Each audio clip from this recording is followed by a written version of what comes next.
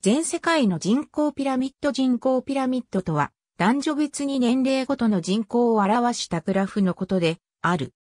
中央に縦軸を引き、底辺を0歳にして、頂点を最高年齢者として年齢を刻み、左右に男、女別に年齢別の人口数、または割合を棒グラフで表した年齢別人口構成図のこと。19世紀以前の世界、もしくは開発途上国においては出生数が多く、徐々に死亡していくことにより、年齢を重ねていくごとに人口が少なくなる。その結果三角形のピラミッド状の形になることから、こう呼ばれる。ただし、日本をはじめとした先進諸国などでは、医療の発達や少子化の影響により三角形にならず、釣り金形を経て、壺型になるものが見かけられる。アンゴラの人口ピラミッド、2005年通常の場合、男性を左側、女性を右側に置く。階級は0歳、1歳2歳と1歳ずつ刻んで表す。タイプ0から4歳、5から9歳、10から14歳と5歳ごとの塊にして表すタイプなど様々なものが存在する。当然、刻みが細かい方が正確性は高い。底辺には人数を表す数直線が書かれることが多い。0歳から14歳を年少人口、15歳から64歳を生産年齢人口、65歳以上を老年人口という。また、年少人口と老年人口を合わせたものを従属人口という。人口ピラミッドは単にその地域の年齢別の人口分布を表すだけでなく、社会保障にかかる負担度や将来の人口増減率などを明らかにすることもできる。例えば、単に数字で人口を見ただけではその後の増減は見通せないが、人口ピラミッドの形を見ることによってある程度の予測がつく。同じ1億人強程度の人口を抱える日本とエチオピアを比較した場合、日本は中年から高齢者にかけてボリュームがある形のため、今後死亡数が増加し人口が減少に向かうことが予測できる。一方、エチオピアは子供から若年層にかけてボリュームがある下膨れの形であるため、出生数が死亡数を大きく上回り、人口が増加していくことが見通せる。人口ピラミッドがどのような形になるかは、その地域に住む人々の経済的な豊かさが強く関係している。藤山型、ピラミッド型、釣り金型、壺型。E はさらに少子高齢化が進んだ形である。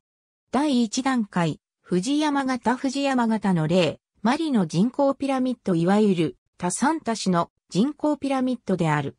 産業革命以前の世界においては世界中のほぼすべての地域でこの形であった。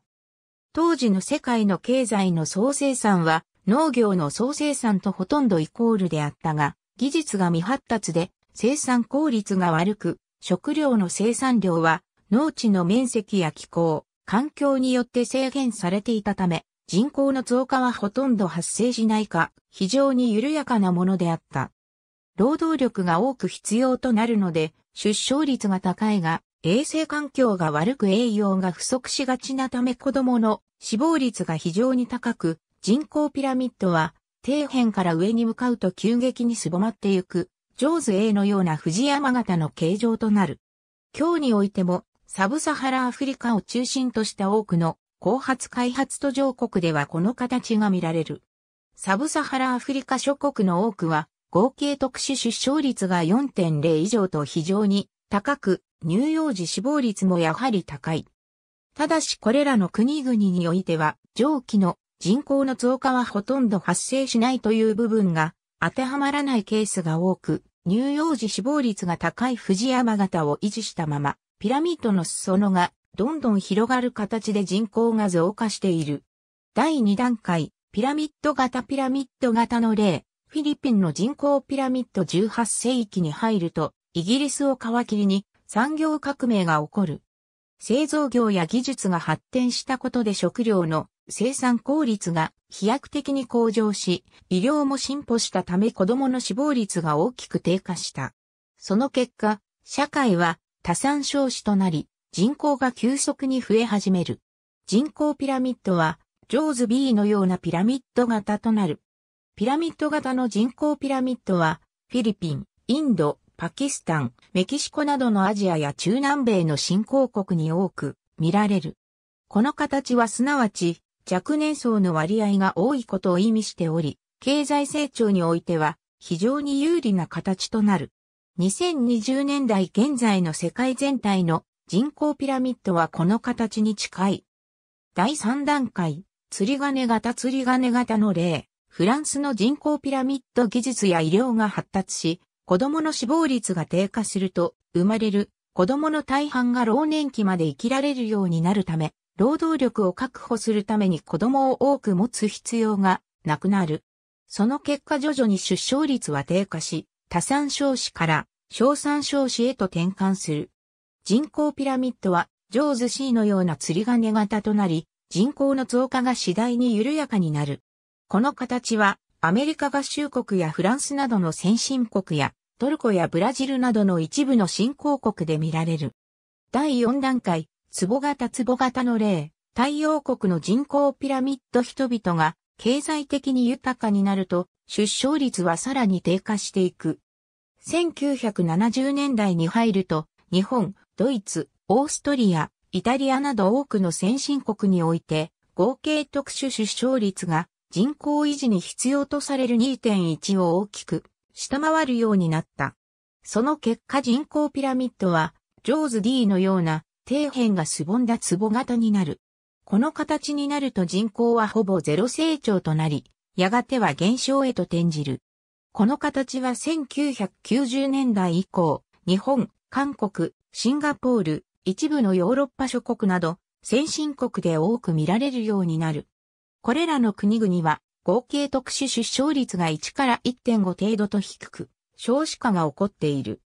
しかし21世紀に入ると、先進国のみならず、中国やタイといった発展途上国、新興国においても、出生率の急速な低下が起こっており、壺型の人口ピラミッドは、先進国特有のものではなくなっている。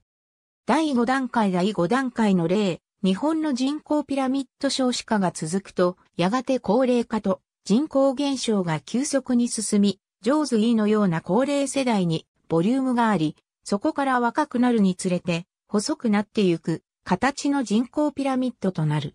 世界で最も高齢化率が高い日本などはすでにこの形に近づきつつある。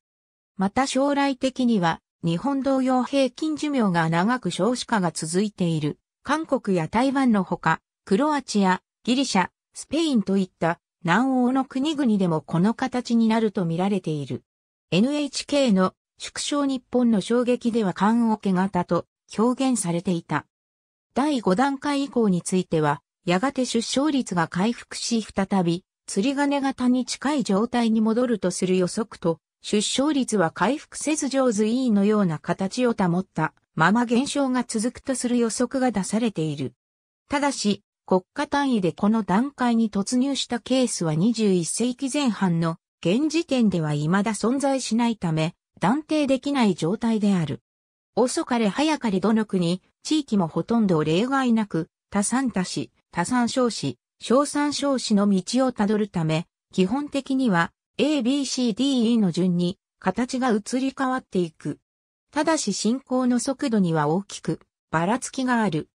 例えば主要先進国の中でもアメリカ合衆国、フランス、イギリスなどは1970年代以降も1.7から2.1程度の出生率を維持しており、まだはっきりと第4段階にはなっていない。一方で、日本、ドイツ、イタリアなどは数十年間にわたって1.2から1.5程度の提出成立が続いており、21世紀に入る頃には典型的な壺型の人口ピラミッドとなっている。経済成長が急速に進むと移り変わりもより早い。例えば中国、台湾、韓国などの東アジア諸国は第3段階をほとんど減ることなく壺型へと変化している。これらの国々は1990年代から2000年代頃にかけての急速な経済成長に伴って出生率も急激に低下し、高齢化率が欧米や日本に比べてまだ低い時期に、すでに年少人口比率は世界最低レベルまで低下した。人口ピラミッドは上端と下部がすぼみ、中央部が大きく膨らんだダイヤのような形になる。これはすなわち生産年齢人口の割合が非常に高いことを意味するが、将来的には生産年齢人口にあるボリュームゾーンが一気に高齢者になるため、高齢化率の急激な上昇による社会保障制度への大きな負担が懸念される。また、中には北朝鮮やウクライナのように経済的には非常に貧しいにもかかわらず釣り金型、壺型になっている国や逆にイスラエルのように所得が高くても、ピラミッド型を維持している国も存在する。ドイツミュンヘンの人口ピラミッド。20歳以降の人口の流入が多いことが見て取れる。大きく人口流入型と人口流出型の2タイプに分類できる。前者は経済活動が活発な地域、後者は前者と比べると経済活動が活発でない地域に見られる場合が多い。人口流入型都市部や大学がある町、移民の受け入れに積極的な先進国などに多く見られる。こういった地域は主に20代から30代の若い世代が流入し、中央やや下部分が大きく膨れたスペードや星型のような形になる。人口流出型田舎に多く見られる。こちらは逆に若年層が凹んだ氷炭のような形になる。必ずしもすべての人口ピラミッドが上記の形に当てはまるわけではない。例えば、ロシアなどはソ連崩壊以降の社会的混乱で出生率が急落したものの、その後急速に回復し2015年には1.78まで上昇した。その結果ロシアの人口ピラミッドは極端に凹凸が激しい形となっており、上記のいずれにも分類しがたい。その他にも、カタールやアラブ首長国連邦などの中東の産油国では、男性の流入が著しく、男性側のみが大きく膨らんだ極端に左右、非対称な形となっている。日本の人口ピラミッド。ありがとうございます。